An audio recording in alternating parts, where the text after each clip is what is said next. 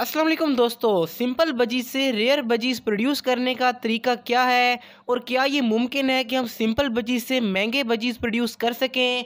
तो जी हाँ दोस्तों, क्रॉस ब्रीडिंग के ज़रिए हम ऐसा कर सकते हैं। तो अगर आप भी क्रॉस ब्रीडिंग करके अपने पास महँगे बजीज प्रोड्यूस करना चाहते हैं तो आज की वीडियो को आप ज़रूर देखें। तो शुरू करते हैं आज की वीडियो को। तो इस वीडियो में मैं आपको पाँच ऐसे क्रॉस ब्रीडिंग के तरीके बताऊँगा जो कि मेरे हिसाब से सबसे बेस्ट है।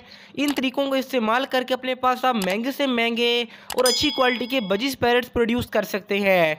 तो अभी आपको मैं वीडियो की तरफ़ लेके चलता हूँ कि कौन से पाँच तरीके हैं जिनको आप फॉलो करेंगे तो आपके पास अच्छी क्वालिटी के महँगे बजिस प्रोड्यूस हो सकते हैं। तो बात करते हैं हमारी सबसे पहली पेयरिंग की, जिसमें आपने टीसीबी का मेल लेना है और इसके साथ आपने रेडेस बजिस की फीमेल लगानी है। ये पेयरिंग इंतहाई मुनासिब पेयरिंग है और इसके रिज़ल्ट में आपके पास 90 परसेंट टी के बच्चे निकलेंगे।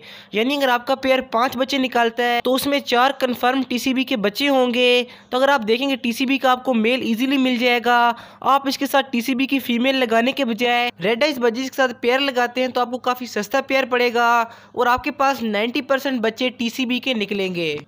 तो ये जो पेयरिंग होगी आपके लिए बहुत ही अच्छी क्योंकि आपको काफ़ी सस्ते में पड़ जाएगी और आपको 90 परसेंट टी के बच्चे मिलेंगे, जिनको आप आगे इस्तेमाल करके अच्छी क्वालिटी के और ज़्यादा टीसीबी के बच्चे निकलवा सकते हैं। तो हमारी पहली पेयरिंग होगी, जिसमें टीसीबी का मेल होगा और रेड आइस की फीमेल होगी तो हमें हर पाँच में से चार या पाँच में से पाँच बच्चे भी टीसीबी के मिल सकते हैं। इसके बाद हमारी दूसरी पेयरिंग जो कि होगो रोमो की वर्किंग के बारे में है तो इस कंडीशन में आपने होगो रोमो का मेल लगाना है और इसके साथ आपने रेड आइज़ की फीमेल लगानी है। इसके रिज़ल्ट में आपके पास 50 परसेंट रेड आइज़ और होगोरोमो के स्प्लिट मेल आएँगे और आपके पास 50 परसेंट प्योर होगोरोमो के बच्चे मिलेंगे।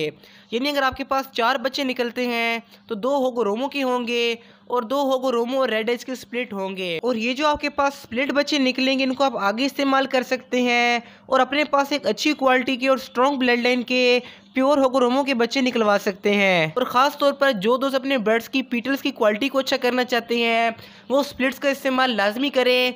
तो इंशाल्लाह आपके पास अच्छी से अच्छी क्वालिटी के होगोरोमो निकलेंगे। इसके बाद बात करते हैं हमारी तीसरी पेयरिंग के बारे में, जो कि काफ़ी सस्ती है, लेकिन आप उससे काफ़ी अच्छा फ़ायदा उठा सकते हैं। तो इस कंडीशन में आपने रेड आइस का मेल लगाना है, और इसके साथ आपने कॉमन बजिस की ब्लैक आई फीमेल लगा लेनी है। तो इस कंडीशन में आपके पास 50 परसेंट जो फीमेल्स आएँगी, वो रेड आइस की होंगी और जो मेल होंगे वो रेड आइस के स्प्लिट होंगे। यानी जितनी भी फीमेल निकलेंगी, वो सबकी सब रेड आई होंगी। लेकिन जो मेल निकलेंगे, वो बाज़ाहिर तो ब्लैक आई होंगे, लेकिन उनके अंदर रेड आइस के जीन्स होंगे। अगर आप इन स्प्लिट्स को आगे दोबारा ब्लैक आई के साथ भी लगाते हैं तो आपको एक या दो बच्चा रेड आई का लाजमी मिलता रहेगा। तो अपने पास एक, दो पेयरिंग इस तरह की करके रख ले तो इनशाला आपके पास रेड आइस बच्चे अच्छी क्वालिटी में निकलना स्टार्ट हो जाएँगे। और आपको मालूम होगा कि नॉर्मल बजी से रेड आइस का रेट काफ़ी अच्छा है तो इस तरीके से अपने पास आप रेड आइस के बच्चे निकलवा सकते हैं। और एक बात हमेशा याद रखेंगे, रेड आइस के अंदर कभी भी फीमेल स्प्लिट नहीं होती। हमेशा मेल स्प्लिट होता है। और स्प्लिट का मतलब ये है कि अगर हमारे पास ब्लैक आई बजीज है, अगर वो रेड आइस का स्प्लिट है तो उसके बच्चों में से आगे रेड आइस के बच्चे निकलेंगे। अगर हम कहते हैं कि ये वाला पीस फेलो का स्प्लिट है तो उससे फेलो के बच्चे निकलेंगे। उसी तरह अगर वो टीसीबी का स्प्लिट हुआ तो उसे टीसीबी के बच्चे निकल सकते हैं। यानी जिस चीज़ का वो स्प्लिट होता है, उस कलर के बच्चे आगे उसमें से निकलते हैं। तो यहाँ तक आपको स्प्लिट की भी समझ आ गई होगी। और बाकी जो मैंने आपको तीन पेयरिंग बताई, उनकी भी आपको अच्छी तरह समझ आ गई होगी। तो इसके बाद बात कर लेते हैं रेनबो बजीज को प्रोड्यूस करने के बारे में। इसके मुतालिक मैं एक सेपरेट वीडियो बना चुका हूँ, लेकिन यहाँ पर आपको मैं एक सिंपल सा तरीका बता देता हूँ, जिससे आप सिंपल आप पाँच छः सौ वाले बजीज से रेनबो बजीज के बच्चे निकलवा सकते हैं। तो आपको तस्वीर में इस टाइप का मेल और इस टाइप की फ़ीमेल नज़र आ रही होगी। आपने इस तरह के बर्ड्स अपने पास लगाने हैं।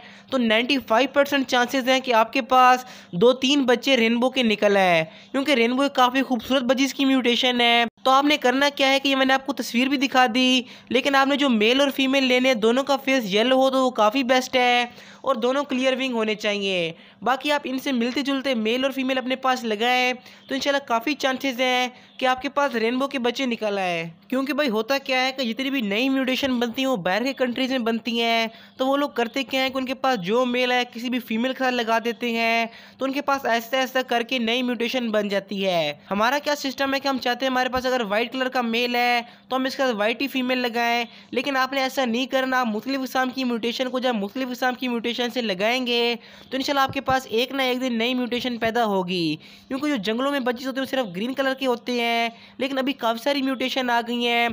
तो ये सभी क्रॉस ब्रीडिंग का कमाल है। आप अपने पास क्रॉस ब्रीडिंग करते रहें तो इंशाल्लाह आपके पास अच्छी से अच्छी वर्किंग होगी और आपके पास इंशाल्लाह म्यूटेशन पैदा हो जाएगी। और मैं आपके लिए इस तरह की इन्फॉर्मेटिव वीडियोज़ बनाता रहूँगा और आपने इसके ऊपर अपना प्यार लाजमी दिखाना है। और जो हमारे पुराने सब्सक्राइबर जितने भी हमारे दोस्त हैं, जो कि इस वीडियो को देख रहे हो मेरी बाकी वीडियोज़ देखते हैं, आप सबका दिल की गहराइयों से शुक्रिया।